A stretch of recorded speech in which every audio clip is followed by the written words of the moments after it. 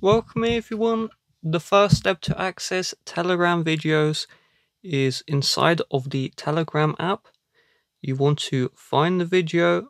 So in this case, I'm going to tap on the group chat where I know the video is located. And instead of scrolling around, I'm going to tap on the server name at the top. And then you're going to see media so this is going to show both pictures and videos. But what you're looking for is it should have a duration. So that means it's a video. So I'm going to long press on that video. And I'm going to select show in chat.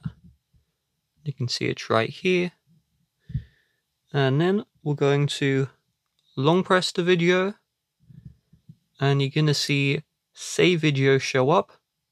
So you're going to tap on save.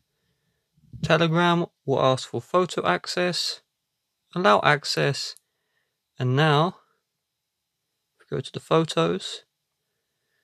The video will save successfully and we can see it right here. With that being said, if you'd like to help support the channel, please do check the description.